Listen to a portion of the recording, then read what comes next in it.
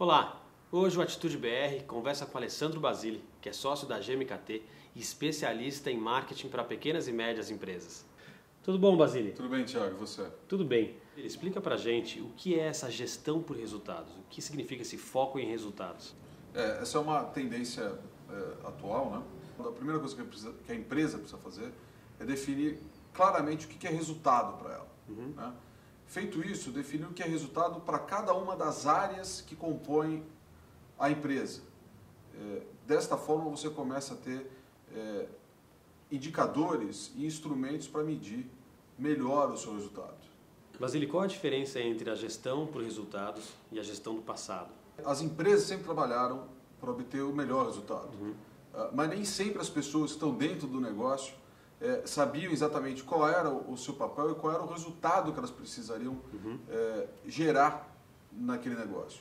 Né? A gestão por resultado é dar esse indicador, é criar esses instrumentos e deixar claramente definido qual é o resultado que cada um dos indivíduos precisa trazer para o seu negócio.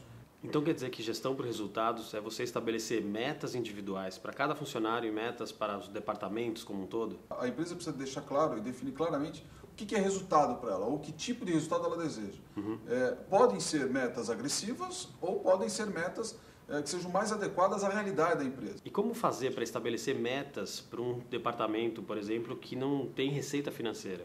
Pode ser de produtividade. Então, Basílio, com esse tipo de gestão, um empresário consegue olhar para cada departamento e medir qual foi o resultado daquele departamento, é isso? Exatamente. Você cria métricas, né? Tudo que é mensurável é gerenciável, hum, né? O que não isso. dá para mensurar, você não gerencia. Então, é esse o, o, o, o princípio básico de você ter uma gestão com foco no resultado. Basília, agradeço mais uma vez você ter vindo aqui no programa e obrigado pelas suas dicas. Eu que agradeço, Thiago. Até a próxima. E fique ligado no Atitude BR. Se você quiser mais dicas, acesse o nosso site atitudebr.com e siga a gente no Twitter também. Até mais e sucesso!